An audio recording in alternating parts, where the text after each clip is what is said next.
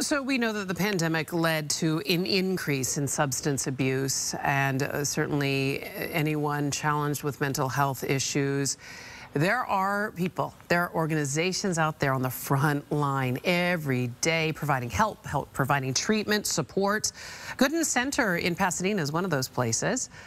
Uh, George Ricciardella is the development director of development for Gooden Center, and he was kind enough to join us now because they've got a couple of great events that are going on. George, nice to see you. But before I get into the great events that you have that are sort of community spirited and building awareness, I, I kind of want to talk to you about where we are at right now. And, and the folks there at Gooden Center, you know this all too well, right? The pandemic worsened challenges we were already seeing. People struggling with substance abuse, people struggling with mental health issues. Um, talk about that. Address the challenge you've been facing. Our phone started ringing off the hook about Yeah. a year and a half ago. Yeah. You know, uh, we have seen an uptick in everybody with even the most benign of conditions. Um, I mean, you know, my, myself included in that. The last year and a half have certainly not been short on isolation, anxiety, uncertainty, fear. And um, that's why places like the Gooden Center are right now more important than ever. And, and that's the thing, right? Because if you're in recovery going into a pandemic, we talked about it. You remember we had conversations around that. The idea of facing a year and a half, we didn't know how long we were going to be facing isolation. To face that battle alone, and you had your own voyage in this path, my friend. You're, you had your own voyage of, of recovering from uh, a substance abuse and, and what have you. And, and uh, congratulations, by the way. So you know what you you walk the walk, you talk the talk. Thank you much. Uh, yeah, I, uh, you know, uh, if I keep doing what I'm doing, I will celebrate eight years of sobriety Honey. in the second week of November. Congratulations. My life is uh, vastly different than it was eight years ago. is vastly different. And, you know, one of the reasons that you do it is because of this little guy. Uh, I think we have a photo of your, your kiddo, and I know that's uh, a, a big reason why you stay on the straight and narrow is because that little love nugget right there needs his Yeah. papa. that little that little lug nugget will be nine years old in a week. You're And, uh, kidding me. he's got a five-year-old brother. That photograph was taken on the front steps of the Gooden Center in Pasadena. And uh, the Gooden Center main house is a substance abuse treatment center that's been there since 1962. treating men with substance 1962. abuse. So you, Yeah. you guys have an insight into what it takes. You can't do this alone. No, no. Uh, you know, that's one of the things that we engage our, our clients in. And, uh, you know, we, we start, we like to think of ourselves as a bit of a family. Uh, one of the things we engage our clients in is the idea that you cannot do this alone. The Gooden Center offers aftercare for free for life. Oh, As my long as goodness.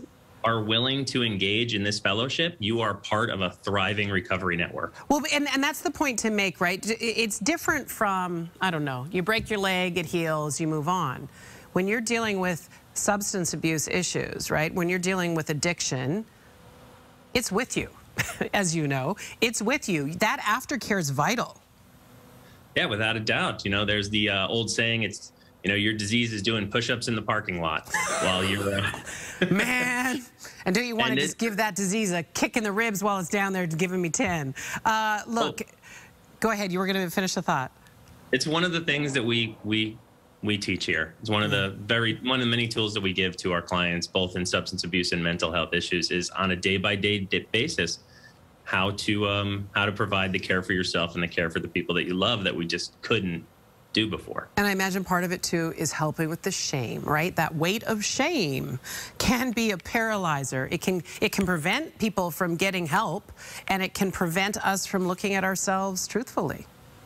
100% you know that that guilt that came with it it's, it was so much easier for me to resign myself as just a horrible person than it oh. was George. as someone who had had an issue that that there was actual help for know? Man, what a moment of grace right there, honey, that you just shared, because I think that's uh, a way for us all to shift our perspective about somebody that's in the struggle of an addiction. My goodness. Okay, couple of events you guys are doing that are that are fundraisers for Gooden Center. You got a 5K and a fun run, and then you also have Gooden Gives. Tell us about each of them.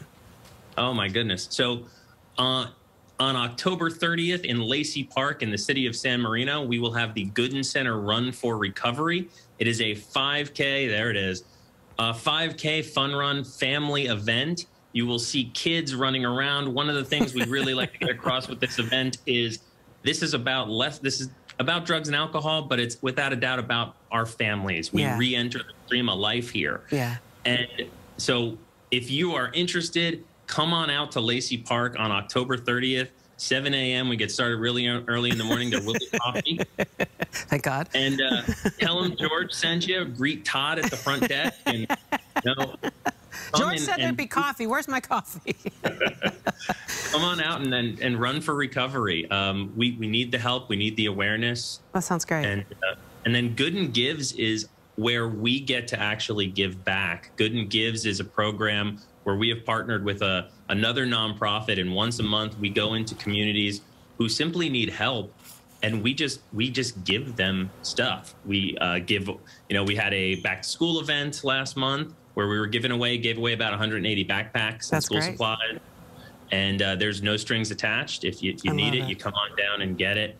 And uh, it's just, you know, I sleep a lot better at night knowing that I do some of these things. Oh man, that that means a lot because there we know that the need is real uh, now more than ever. Okay, so do you see the website right there on the bottom? Take a little photograph, jot it down. You can get information on, on the fun run, the 5K. You can also get information on the Gooden Gives program because maybe you're in need, maybe you know someone in need, or maybe you'd like to donate. We like to hook you up in all fashions. Say George sent you. He promised coffee at the fun run. George, really a delight to chat with you and congratulations on your upcoming eight years sober anniversary, honey. Thank you so much. Well Have done, brother. Well done. Keep on fighting the good fight. Uh, all right, talk about talking the fight, good fight.